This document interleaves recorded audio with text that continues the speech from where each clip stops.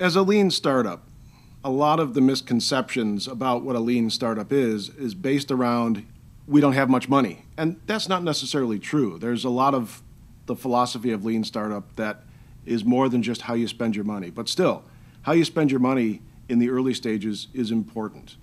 We didn't go to an office supply store and have them deliver and set up a bunch of cubicles.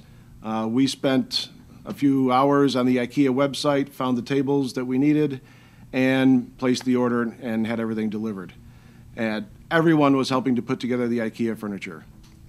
But there's a couple things you shouldn't skimp on. Uh, don't think that you have to be cheap on everything, especially the chairs. Now, we got some really nice Herman Miller chairs, but we got those from a reclaimed office supply store. So they were used, but they're still, they're barely used. You can hardly tell. Same thing with the conference room table. Find ways to cut corners. When we had to put up the wireframes, uh, we didn't go and get an $800 8 foot by 12 foot corkboard.